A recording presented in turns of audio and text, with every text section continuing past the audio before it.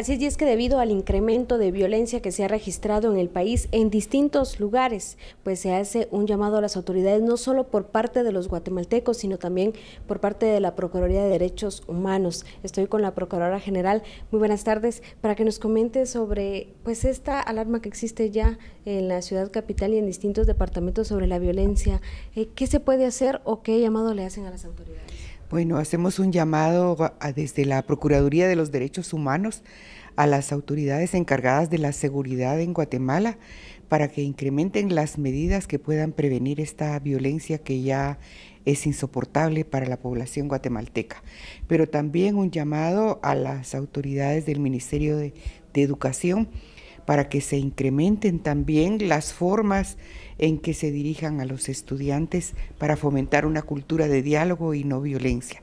La violencia no es algo normal, no es algo natural y por lo tanto puede aprenderse a tener eh, mejores eh, formas de relacionarse, de resolver los problemas para evitar esta violencia. Y por supuesto también al Ministerio de Trabajo para que propicie el incremento de empleos que puedan llevar a la inserción laboral de jóvenes que se han dedicado en los últimos tiempos a insertarse en el crimen organizado, lo cual debe detenerse para que en Guatemala pueda haber una mejor eh, forma de vida, una vida en donde no se viva con temor, una, una vida sin violencia para todos y para todas. ¿Qué se le puede decir a los guatemaltecos que dicen sentir temor, que ya ni siquiera en la sexta avenida pueden recorrer por lo que ha ocurrido hoy?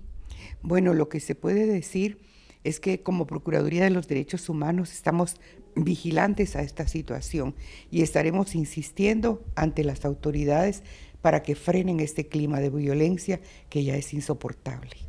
Muchísimas gracias, Procuradora. Y es que recordemos que en esta semana, solo en tan solo dos días, en Vía Canales se reportaron seis fallecidos. Estas personas pues fueron eh, localizadas en distintos puntos de este municipio y aún no han sido identificadas. Pero no solo ocurre acá, sino que también en diferentes departamentos de Guatemala. Con esto yo me despido. Muy buena tarde.